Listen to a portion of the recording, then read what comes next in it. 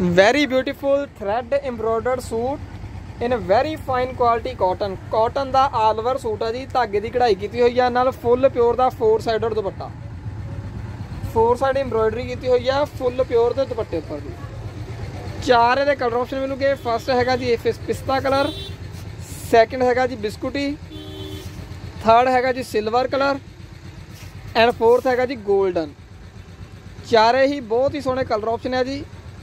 ਫੁੱਲ thread embroidery ਹੈ ਜੀ। ਕੋਈ ਸਿੱਪੀ 17 ਸਟੋਨ ਕੁਝ ਨਹੀਂ ਹੈ ਓਨਲੀ ਥ੍ਰੈਡ ਐਮਬ੍ਰੋਇਡਰੀ ਧਾਗੇ ਦੀ ਕਢਾਈ। ਵਧੀਆ ਕੁਆਲਿਟੀ ਚ ਕਾਟਨ ਦਾ ਸੂਟ ਆ, ਫੁੱਲ ਪਿਓਰ ਦਾ ਦੁਪੱਟਾ, ਦੁਪੱਟੇ ਉੱਪਰ ਨਾਲ ਧਾਗੇ ਦੀ ਕਢਾਈ ਹੈ ਜੀ। ਤੇ ਪ੍ਰਾਈਸ ਇਹਦਾ ਹੈਗਾ ਸਿਰਫ ਤੇ ਸਿਰਫ 1290 ਜੀ 1290 ਰੁਪਏ ਓਨਲੀ 1290 ਸਿਰਫ ਪ੍ਰਾਈਸ ਹੈ ਜੀ, ਸੂਟ ਇੱਕ ਦਾ ਵੀ ਤੁਸੀਂ ਆਰਡਰ ਕਰ ਸਕਦੇ ਆ ਹੋਮ ਡਿਲੀਵਰੀ ਹਰ ਜਗ੍ਹਾ ਅਵੇਲੇਬਲ ਹੈ ਜੀ, ਕਿਤੇ ਵੀ ਇਹ ਸੂਟ ਡਿਲੀਵਰ ਵੀ ਹੋ ਸਕਦਾ।